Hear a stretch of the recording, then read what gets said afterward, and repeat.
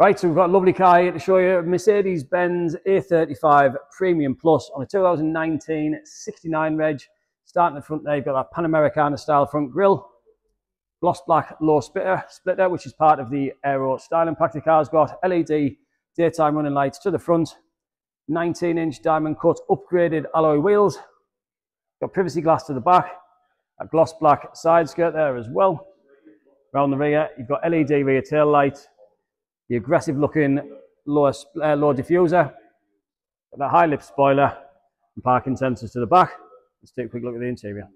Okay, so we've got that AMG style interior, black leather with a cream fine line stitching, got thigh extension to the front, the R3 function heated memory seat to the front seat.